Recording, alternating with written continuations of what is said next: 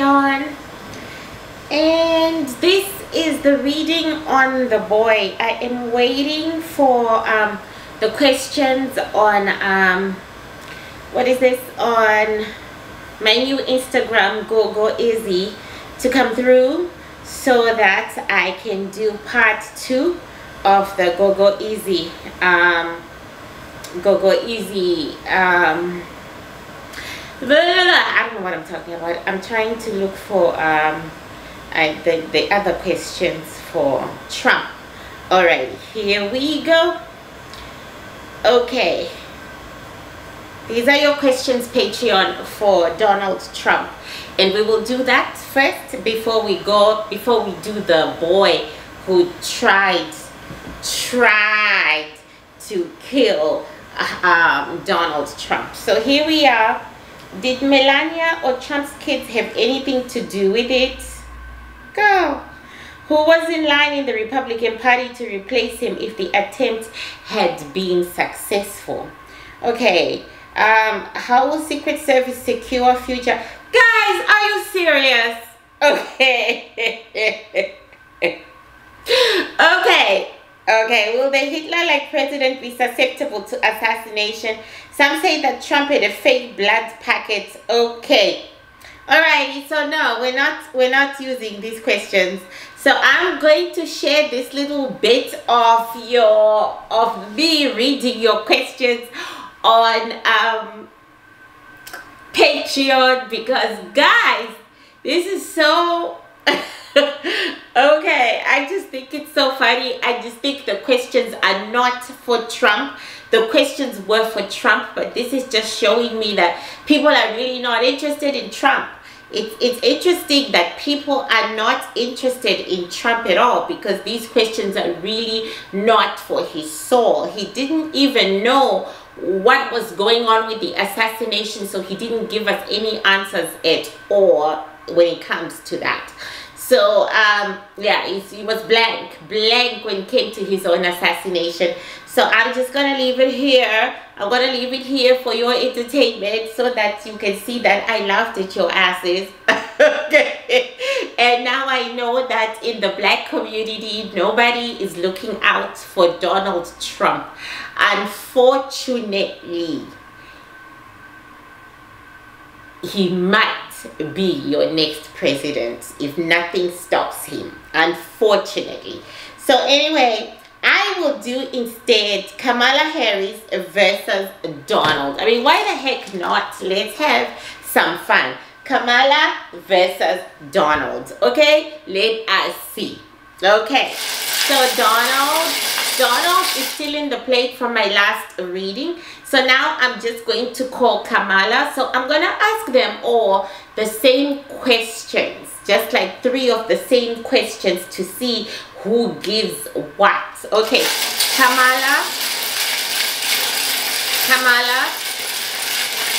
Kamala so Kamala walks in with more confidence than she did in the last reading I did of her and then she tried to sit on Donald. She's still trying to sit on Donald. And I'm like, Kamala, find your own seat, please. Do not sit on top of another energy. This is a very oppressive female. She is very, very oppressive.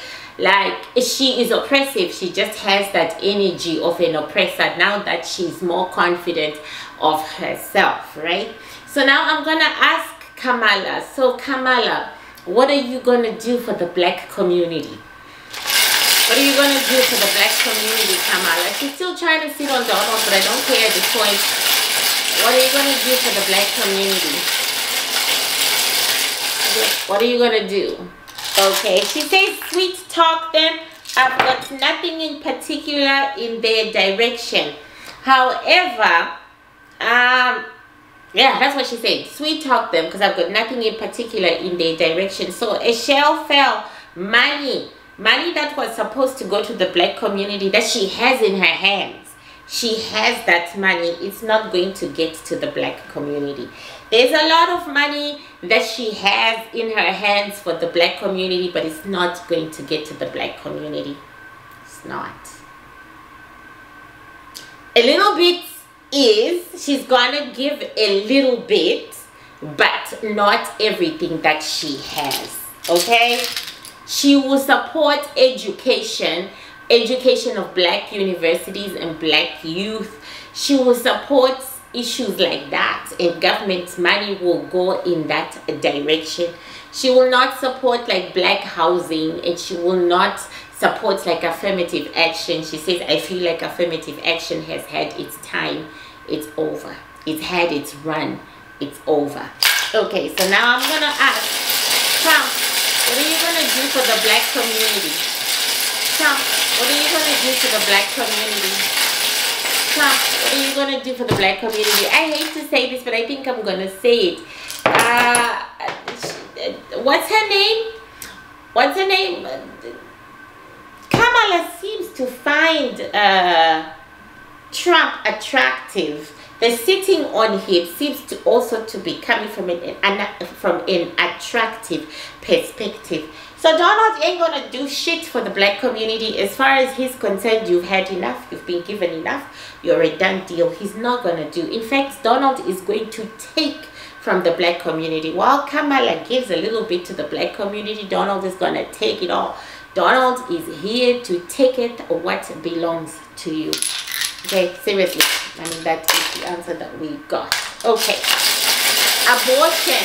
Kamala, are you going to change the abortion laws? Are you going to change the current abortion laws, Kamala? Are you going to change the current abortion laws, yes or no? Are you going to change the current abortion laws, yes or no? Are you going to change the current abortion laws, yes or no? And see what she does that. She she would do that by changing the judges if there's a judge that is going to retire. She would, you know, she says she's to try. It's an uphill battle and what has already been done is entrenched in time. So if only she gets a second term as the president of the United States, then she will work on the abortion laws. But right now, she will have to work with what is there. Okay, this is a long-term thing, obviously. Trump, are you going to change the abortion laws? And yeah, are you going to change the abortion laws? That's a no. That's a definite no. Are you going to change the abortion laws? Well, a shell fell out, which is always a no. So now, is he going to change the abortion laws? The answer is a definite no. However, he's going to entrench anti-abortion. It's going to be entrenched. He's saying something about white power and white people becoming less and less as the Mexicans take over. So he's going to entrench anti-abortion laws. So basically, when Trump gets into power, women are really gonna roast. Those who like abortion, you're really gonna have a hard time. Okay. Um, Kamala, what is the biggest thing you're gonna change for people? What is the biggest thing you're gonna change for people as the president? What is security? She's more about security. She's more about international affairs. She says the things that they won't see, the things that they don't know are happening. Security, terrorism, that's gonna be her thing while she's president. Domestic affairs do not interest her at all. I'm just being honest. Domestic affairs don't interest her at all. Security, terrorism, keeping America safe. She's about that life. Okay. Trump, what are you going to do for the people of the United States if you become president? What are you going to do for the people of the United States if you become president? What are you going to do for the people? What are you going to do? Money. He's gonna try to revamp the stagnant um, economy and he's actually gonna succeed. okay. No, seriously. He's actually gonna succeed. He's gonna revamp the stagnant US economy and he's gonna succeed. He's gonna pull quite a lot of people out of poverty, albeit Caucasians but he's gonna pull quite a lot of people who are struggling right now and they are in poverty he's gonna pull them and they're gonna go to the wealthy side quite a lot of people yeah he is about the economy. He is he works on the economy. Leave you know. Alrighty. So who is the better president? Okay? Kamala. Will you make a good president? Yes or no? Will you make a good president? Yes or no? Will you make a good president? Yes or no? No. That's a definite no it's no. And a no. And a no. Okay? Trump, will you make a good president? Yes or no? Will you make a good president? Yes or no? Will you make a good president? Yes or no? Let's see what we get. No. Definite no. Absolutely no. These two people are seat fillers pretty much they're seat fillers. They're just sitting there waiting for a historic figure. Neither one of them are historic. You know what i'm saying? Neither one of them are historic. They're just sitting there waiting for a historic figure. Okay? Alrighty. So thank you so much for this one. Thank you guys I'm glad I did this one impromptu because I'm gonna wrap this up.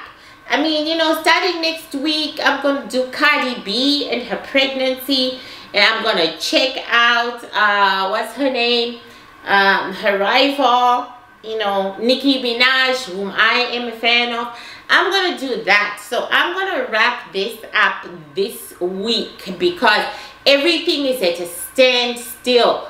Everything everything the pieces have now been put together. Just waiting for someone to say go pretty much. Just yeah there's nothing else i can say because yeah pretty much there is a waiting for someone to say go. Okay just like a girl like okay but everything that's meant to happen is hanging in the air already you know. So thank you all so much for joining me. And like i said i'm not putting any of this stuff on youtube because yeah i'm not stupid. So thank you so much for joining me and i'm i'm totally wrapping this up because there's pretty much nothing going on anymore. Okay? Thank you. Be kind to yourselves, guys. Be loving, be gracious, be sweet, be nice to you. If you know you have a toxic person in your life and you see them wanting to make a comeback after the relationship is long dead and over and i'm talking about you girls who are always taking your man back. Stand strong and remember what they did to you and do not take back that vomit because that vomit will only make you sick. Think about it as a projectile. You vomited something out. Now it wants to be you know whatever okay? When you let go of toxic people no matter how much it hurts for you to do so do not bring them back again to sit at your table. They were lost. You were lost. Do them a favor and do yourself a favor. Okay Thank you guys. Bye.